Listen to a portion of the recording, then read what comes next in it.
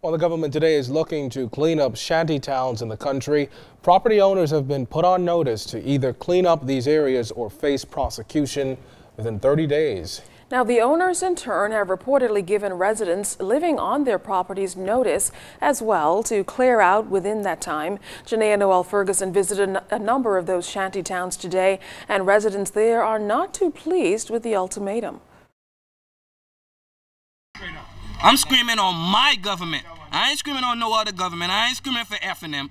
PLP, please come help me. Residents that occupy the shanty towns in New Providence are up in arms over the 30-day notice given by the government. They say that that time frame is not enough and the government should at least give them 90 days. People ain't fight with them. Deceiverville, okay? Give them chance, give people chance. It cool now. The only thing we need from the government is a little help. Give us some water, some some electricity. We don't mind paying, you know. The only thing we need is the help to get us started. Yeah, I gotta go back Haiti when government say.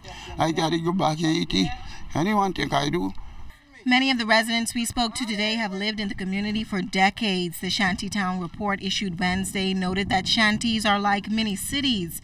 We found evidence of that as we visited one of the areas and found convenience stores, churches, and so much more. We're told between 4 to 500 residents occupy such communities.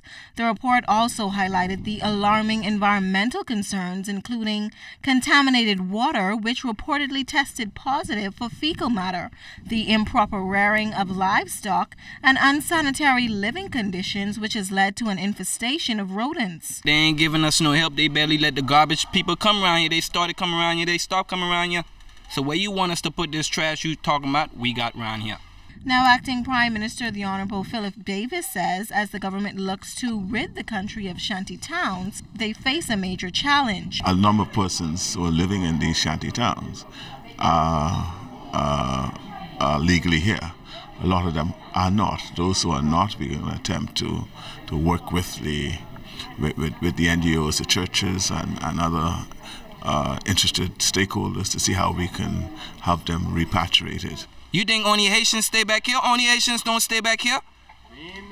I, I think we have to just continue to be vigilant and, and, and educate those persons who, who are here legally to uh, about the state of uh, affairs when it comes to, to creation and or the continuing existence of uh, towns like this.